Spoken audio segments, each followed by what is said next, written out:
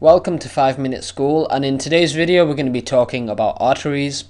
Arteries are blood vessels which carry blood away from the heart and they carry oxygenated blood. In this video I just want to talk about the main functions of the arteries and also we'll look at its structure and I've included some diagrams and some notes to help you understand the structure and function of arteries. So as I've just mentioned they carry blood away from the heart and they carry oxygenated blood. This is true for most cases except for the pulmonary and umbilical arteries where they carry deoxygenated blood. But in most cases, arteries carry oxygenated blood away from the heart. So they carry blood at a higher pressure compared to the other blood vessels and they don't have valves.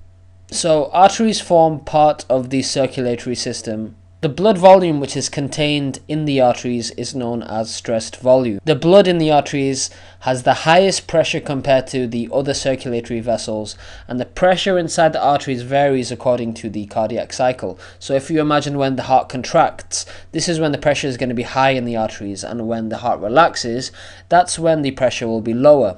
And this difference between these two pressures is what produces the pulse. So if you're palpating or trying to feel the pulse, the common is when you supinate your hand or you turn it upwards facing the sky, the left side of the wrist, if you press gently with a finger, you should be able to feel the pulse from the radial artery. Now let's look at the structure of uh, arteries. So I've included this diagram here which shows you the cross section. This central part is called the lumen which is where the blood flows through and we have three separate layers.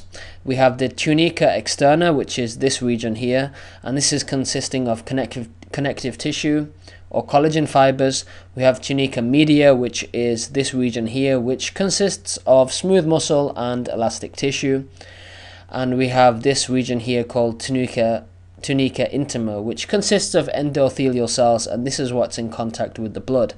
The important thing to remember for arteries is that they have a very thick wall in comparison to the other blood vessels like veins and uh, even capillaries because they carry blood at such high pressure it must have a strong muscular wall to withstand to withstand this high pressure.